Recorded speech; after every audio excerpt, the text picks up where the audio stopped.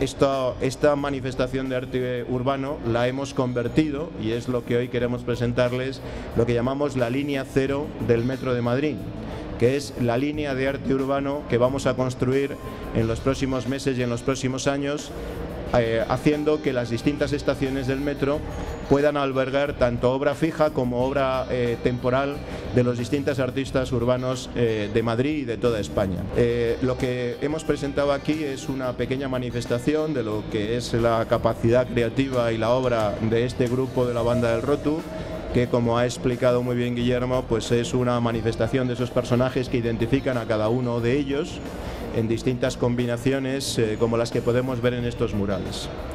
La, la, idea es convertir estos espacios de metro en un espacio, como les digo, de arte urbano. Unos tendrán manifestaciones artísticas de carácter permanente. Así fue como comenzamos en la estación de Paco de Lucía, en que próximamente inauguraremos esta primavera. En este caso son manifestaciones de arte urbano, pero de carácter temporal. A lo largo del próximo mes ellos van a ir decorando los distintos espacios de esta, de esta estación, van a ir cambiando y haciendo dibujos de, de todo tipo y se podrá ver hasta la primavera.